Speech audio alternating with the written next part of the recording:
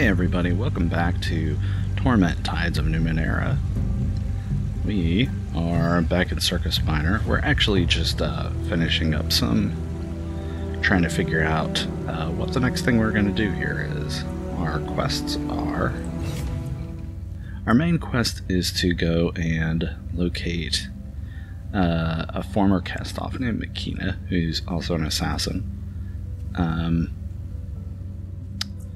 as part of that, Mapper has asked me to.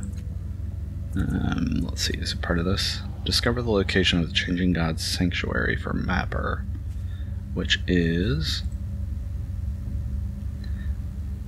Uh, Sagus Cliffs. Uh, let's see. Hidden sanctuary that was established long ago by the changing god. Apparently, um, all he knows is that it's underground somewhere very close to the Steech's lair. Um, yeah, so I need to do that. Uh, which, now that I think about it, we could probably talk to the Sticha about getting um, about getting uh, access to because there was a Sticha down in the underbelly that we helped. But also, I have absolutely no idea where this book is. Uh, we need to talk to Matkina for this. Uh, Foreman's. This is. I might come back to this one, but it looks like I need to talk to Order of Truth for that. And I need to find this house in Cliff's Edge. Uh, something else I realized is that I hadn't finished talking to everybody out here, so before we go on, I'm gonna make sure that we haven't missed any right. quests. Uh, like, we noticed that there were some slavers over here that I tried to avoid, but let's make sure there's nothing going on here. As you approach the wild haired woman's eyes, you, uh, the wild-haired woman eyes you specu- speculatively and whispers something to her companions. They burst out laughing, and a slight smirk plays about her lips. A breathing mask dangles from a cord around her neck, and you can see where it has cut permanent grooves into her face. She ruffles her hair, messing it further, and sings out, Come to buy a slave, cast off? If you've come to me, you must want something of the sort. How do you know I'm a cast off? Tattoo, I've had dealings with your kind before. I know about you. So, cast off, I have information you might want. Of course, it comes with a price. What information? You think you'll get it from me that easily? I don't think so. I know your type. You cast offs, not a one of you can be trusted. I give you this information, you're gone before I can collect my price. So you'll forgive me if I decline to say outright what secrets I hold. I'll remember that. One of my wards is run off. She's taken a head wound, not my doing, and I've been watching after her. I don't know where she's gone, but I suspect she's headed to Cliff's Edge plenty of other urchins clamoring about the place. It should be easy to find it easy to blend in. Sadly, my troop and I are detained here, so we can't go ourselves. She's a scrawny child named of Rin, head wound, but covered by dark curly hair, has a little necklace around her throat, babbles about her gods. Go get her for me, and I'll tell you what you want to know. Uh, there a few other questions for me first? Uh, questions about slavery. It's not so bad, not horrific. Almost no one sells them for parts anymore. Fact is, most of them go down to the bloom, where they can work off their debt to society by opening a mall or two. It's not a forever thing, it's punishment. Uh, you know what? I'm not particularly interested in uh, helping slavers, so uh, it's good to know she's missing a slave, so if I run into that oh, right. slave, we'll probably help her out. I also noticed I talked to his parents. I never talked to the kid. The child skids to a halt and rubs his forehead with a grimy forearm, leaving arrow tracks of dirt across his ruddy skin. Hey, Shuva, he pants. Never seen you before. Call me Shuva, what does that mean? Huh? Really? You never heard it? Uh, I have, but not since I was young. Kids are saying that again? When Jerem nods quickly, Aligern glances at you, his smile fading into a customary scowl. It's slang from an older dialect, kid. My grandfather used it when he was young. They'd get outsiders coming through their village, dealing tough with the merchants and shoving kids aside as they went about their damned important business. Shuva, get it? Uh, yeah, that's it, alright. Uh, do you like playing in the market? Not always, but it's better than school, hey? And I like Zaofi make I like watching Zaofi make sculptures, the ones that go sharp and curly. Reminds me of the monster on the other side of Scarrow Hall. Scarrow Hall, what's that? The building? Yeah, Shiva. It's a building at the center of town, a thousand hands tall, with a mural on the other side of Zaofi's sculpture, but flat and in purple rock. Don't think you're gonna miss it if you're looking for it, hey? Aligern, yeah, you will. Scarrow Hall was a huge temple at the center of town, like he says. It was turned torn down centuries ago. Kid's either a liar or a carker. Hmm. Uh, tell me about Scarrow Hall again? Hmm. Why are you so dirty? I don't know. Paja and Kellinor make me wash twice a day. I guess the dirt likes me, hey? Don't your parents worry about you running around here alone? My parents? You mean Paja and Kellinor? They're watching me until my Mard and Ciro come back for me. What does those mean? Huh? Bard, Zero, my parents, you asked me about them. Paja and Kellinor are taking care of me until they come back. Hmm. Very well. Wonder what's up with that. Jerem has an interesting vocabulary. Where did he learn those words? You know children, mine's like an open bag, catching every bit of truth that gets thrown their way, pay him no mind. Why are you out here again? Jerem likes it, so do we. Okay. Yeah, there's something up here. Clears his throat and avoids your gaze.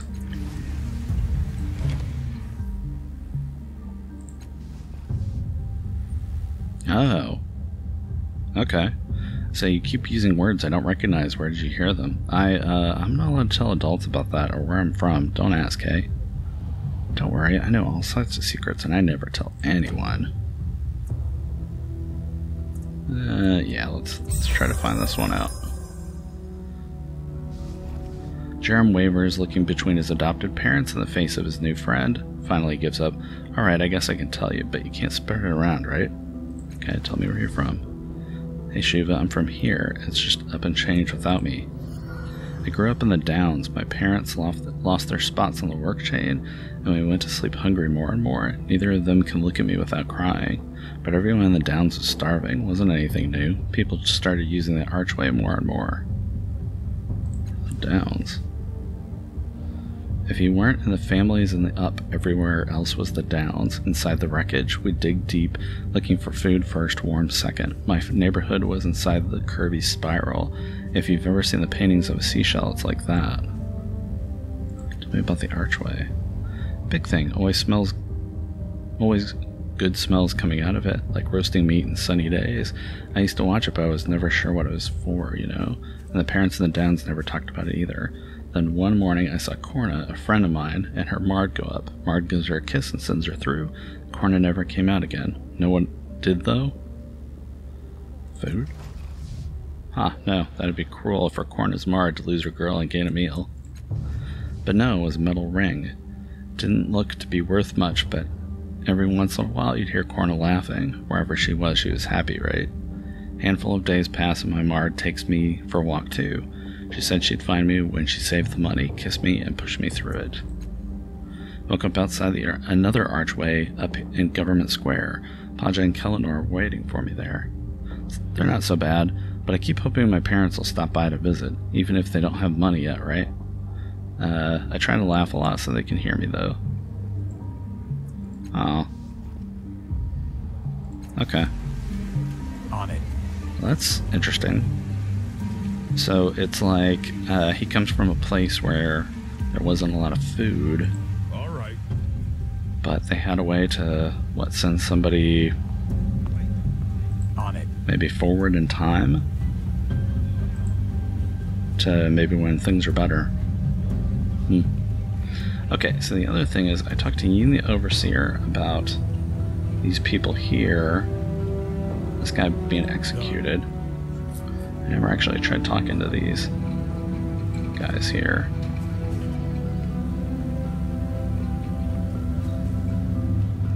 And we shall live in the bones of a behemoth. Uh, death repress.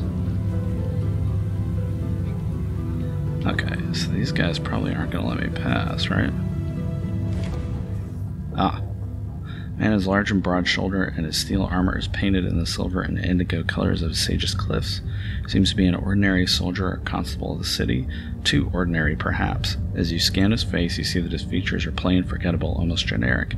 Not only that, his eyes are a little too large, his smile too firmly fixed upon his face. Will you let me pass?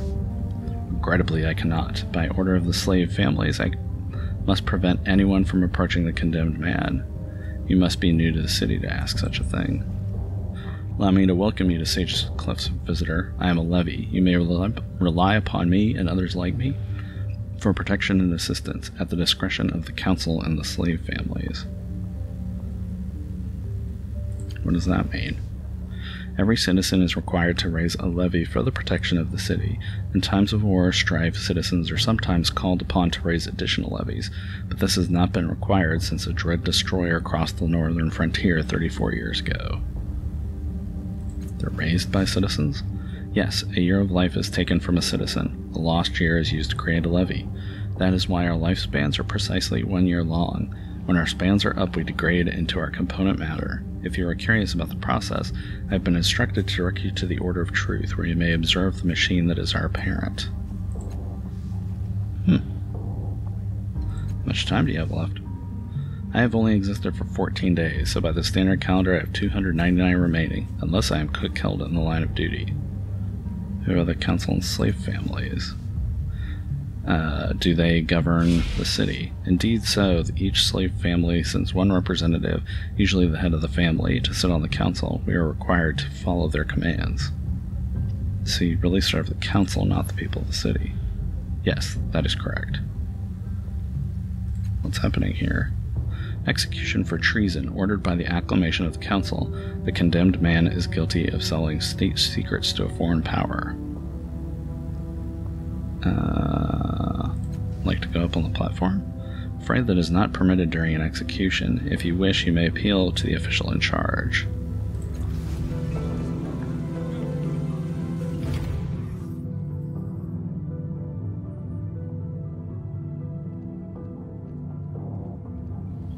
Uh, tell me what's happening here. That man over there told me he was involved in Rissa's crime. Okay. Is that like a lie or a distraction? Because I don't remember anybody telling me that.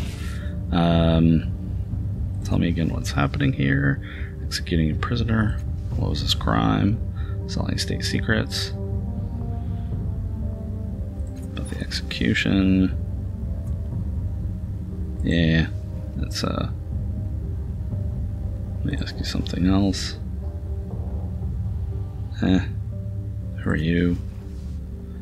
Uh, I am Yin, overseer of capital punishment, charged by the council with organizing public executions and making sure they run smoothly. Yeah, I think this might just be like a distraction, so I'm not going to do that. It's a plan. But, and then, um, Of course. uh, maybe I have talked to everybody else. I know I can pay to take a closer look at this guy. I'm not sure I'm really all that interested. Actually, I don't remember talking to this guy. Belazar.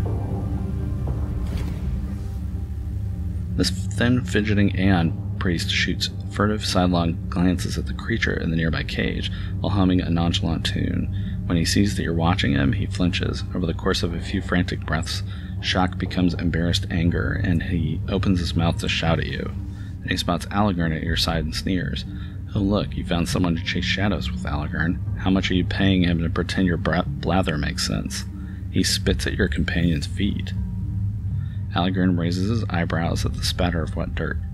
It's nice to be famous, not that you'd know, because I sure as hell don't know you. He smirks in your direction. Typical Order of Truth acolyte here, t- treating tasty gossip as evidence. Doesn't matter if something's true, so long as it's interesting. Maybe they should call it the Order of Trust. Aligern barks a laugh. Maybe most of them sure as hell aren't tracing the truth anymore.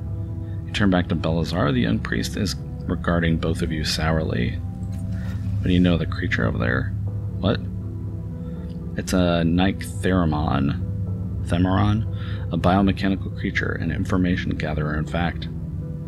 They're dangerous, though. You can only speak to them at night. During the daylight, they'll attack without provocation. Attacks without thinking, huh? You're practically twins. You're planning something, aren't you? Belazar weighs the intent of your words with narrowed eyes. Are you with the Order of Truth or just snooping? Just curious. I'm not planning anything. I'm enjoying the fresh air.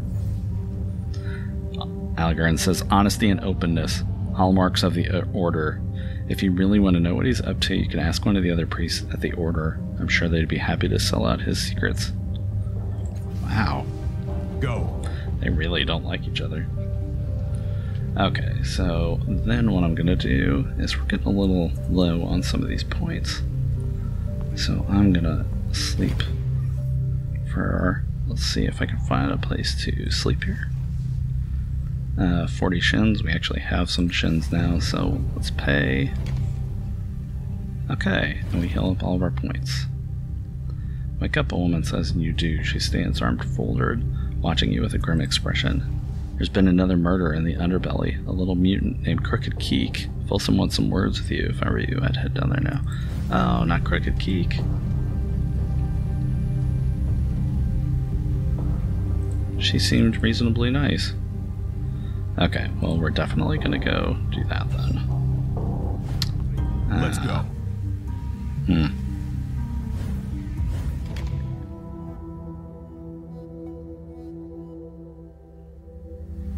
I thought we were just going to go and rest and then head to the next area, but uh, apparently that is not a thing right now. Yes. Now. Yeah, we helped her fish. Oh no, You it's that it. symbol again. A tiny skinned hand rests palm down at the center of a huge pool of blood. The nearby wall, someone has drawn a bloody circle pierced with jagged symbols.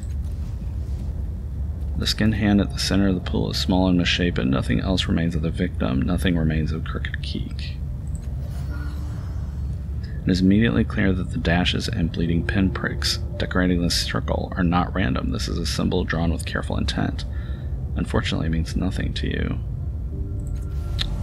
Huh. Yeah, she didn't do Yes. anything either. I mean, she seemed totally harmless. Let's see. Can we get another fish? We can. Doing it now. Actually, what does that fish do for us?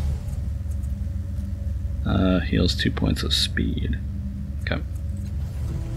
Good to know. Sure. Hey, Folsom, what the heck happened here?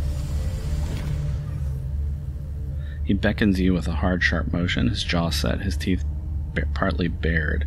Someone else was murdered in your absence. A woman called Crooked Keek was killed beside the water. I ask that you share any new information you have, and if you do not have any, find any. Or find some. I don't.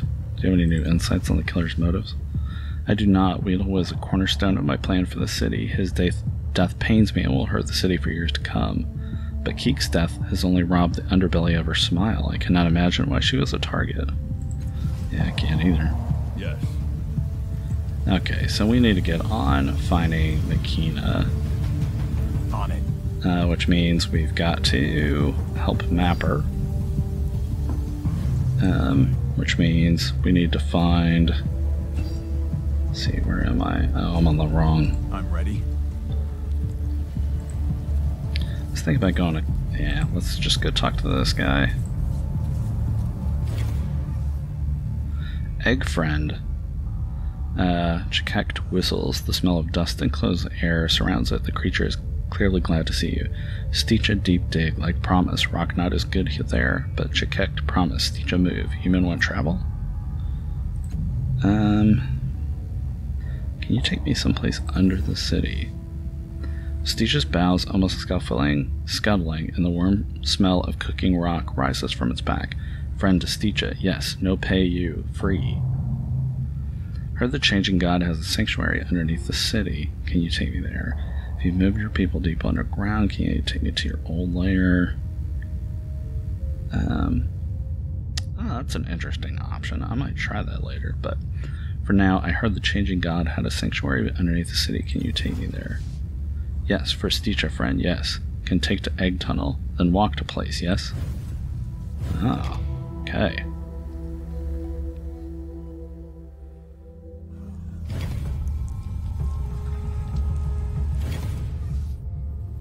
Emerging from the freshly dug tunnel, you find yourself in a small chamber with veins of refined metal gleam- glimmering around the grounds and walls, placed beyond egg rooms, hatchling chambers.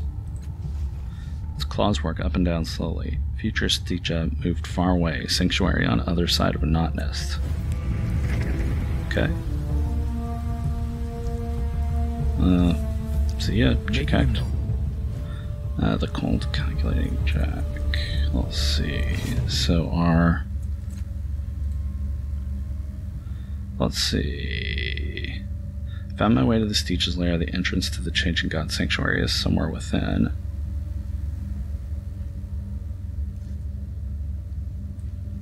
Uh, yeah, so. Um, of course, now I have no way. Let's see. So we can go back here to the underbelly, or we can get ourselves in all kinds of trouble. What is this?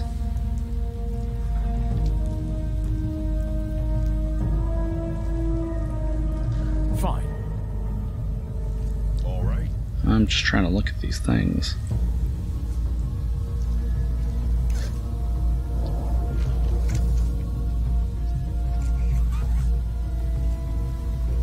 Glowing statue emits a low hum that tugs lightly at your mind, trying to draw your attention. The Sticha cannot seem to resist it as you All right. can. Okay, so it's gonna give me descriptions as if the Sticha are still here.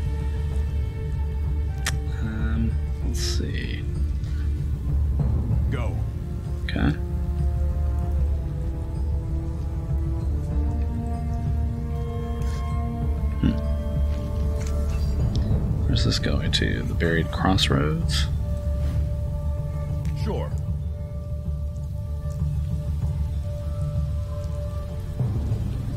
I'm Okay. going. Uh, device is larger and more pristine than the other statues you found in these tunnels. Two rounded drums are driven deep into the stone floor. Traces of light swirl in dizzying patterns across the surfaces, nodding in and around each other in tight gyres. Those glowing threads are similar to the ones you've seen, the ones on the other statues you've seen, but much more complex. An, an audible hum permeates the air around the machine. Let's see, let's try Lore Machinery. Manipulate the light patterns with your fingers to activate the machine. An Aligern here. He actually has. Hmm, he doesn't have much though. Wonder if I can back out now. Oh, I can't. Cool. So I can use my flex skill to choose. Let's choose Lore Mystical. There we go. Yeah. I'm ready. Let's try this again. Lore Mystical. So, let's go with the 85% here. You bring open palms down on the two drums simultaneously, and a gonging resonates through you. A burst of golden light erupts from the machine. For a fraction of a second, your mind is wiped clean, stunned. But that was a good thing, right?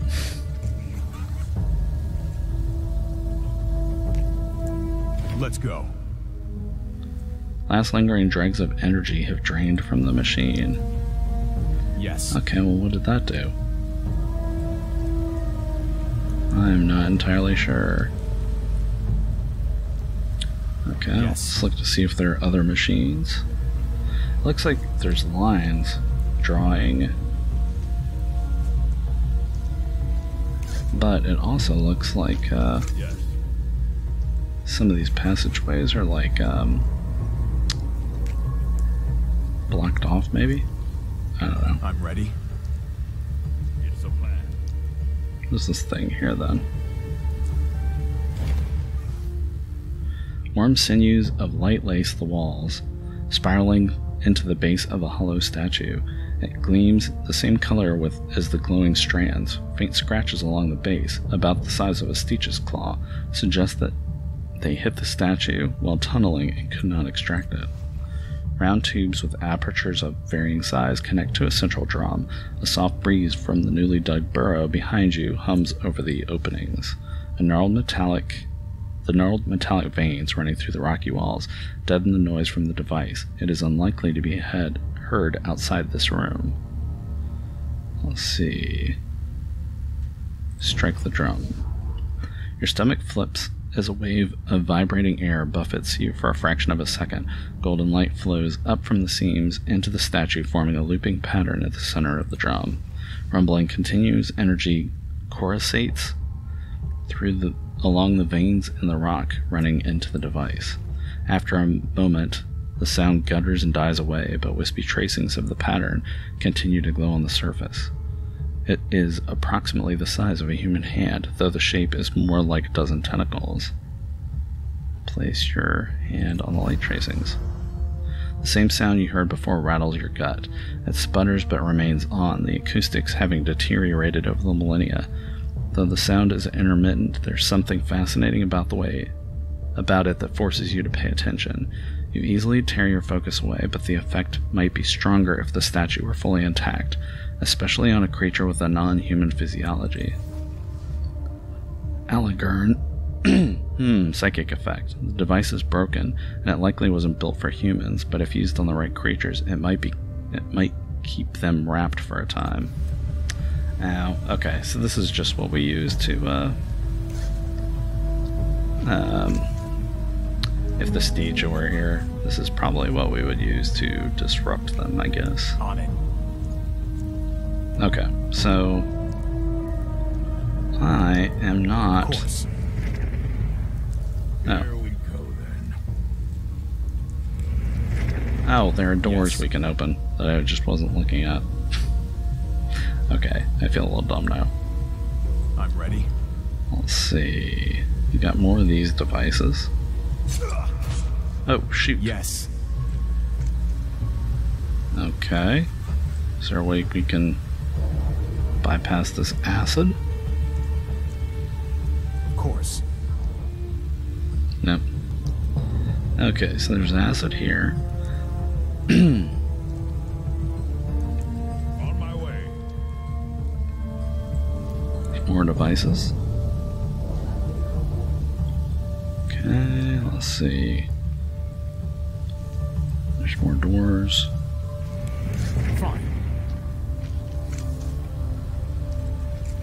Yeah, this place was probably All right. interesting with all the Sticha here. Right now, it's just kind of uh,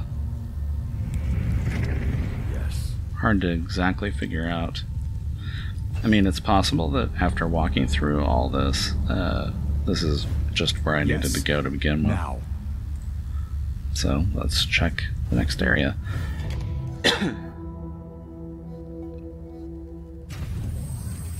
oh. This looks more like what we're looking for. Buried crossroads. That's a cool little light ladder, too. Doing it now. Oh, what do we have here? Sleek and streamlined, this machine hums with energy. You're fairly certain that it came to life just as you entered the Doing chamber. it now.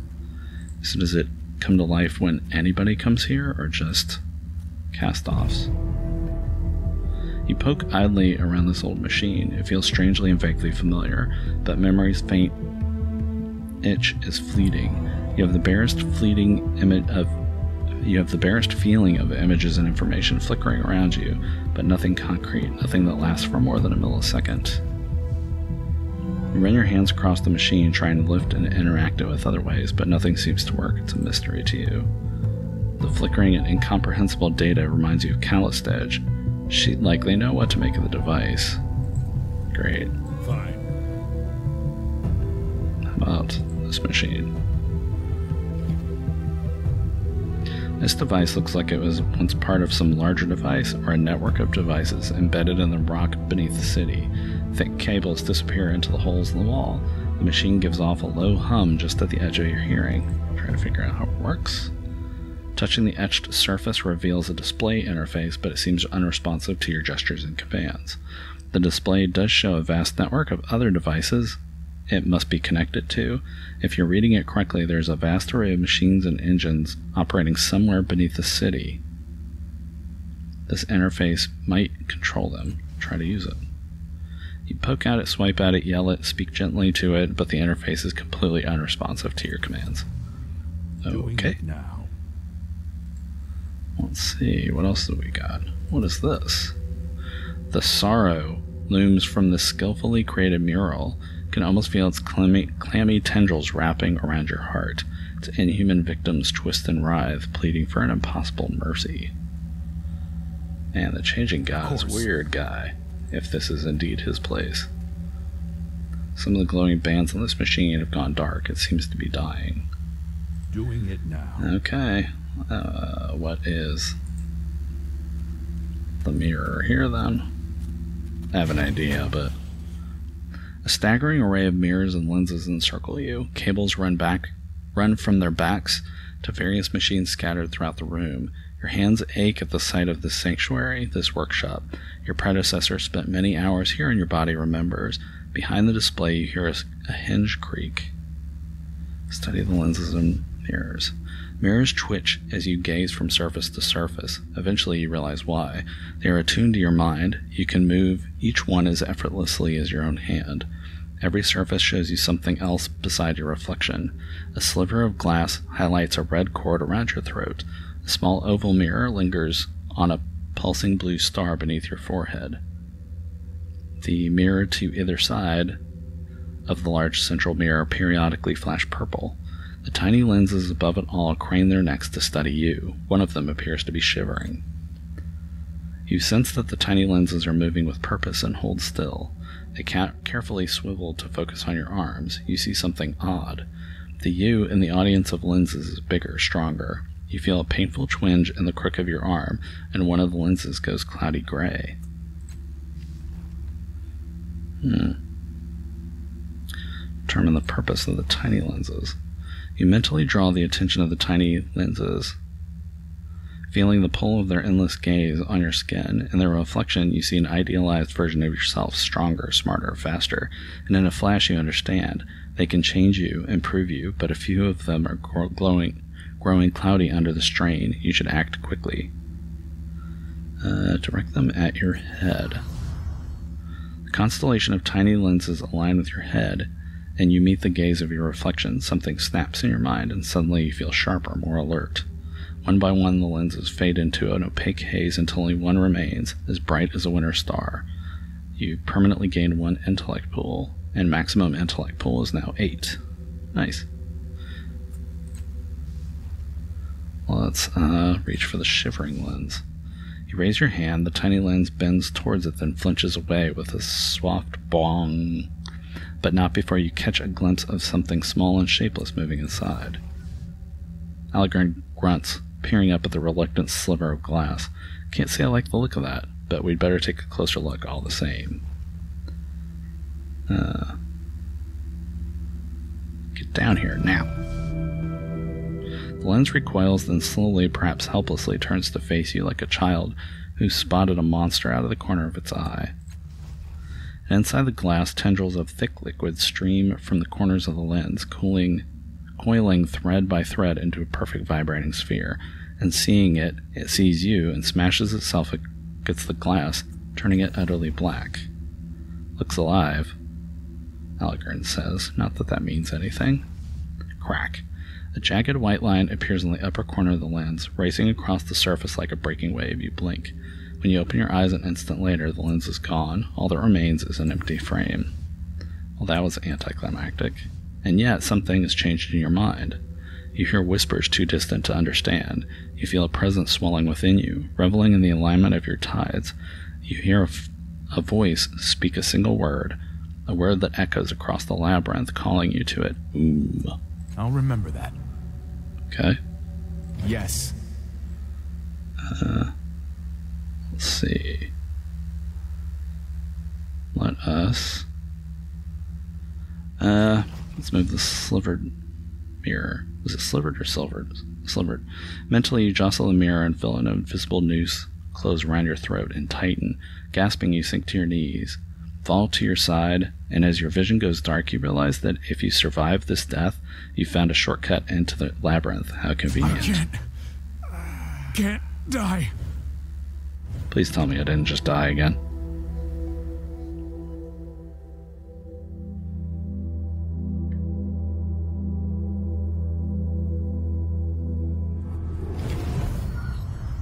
Didn't, just got to the labyrinth.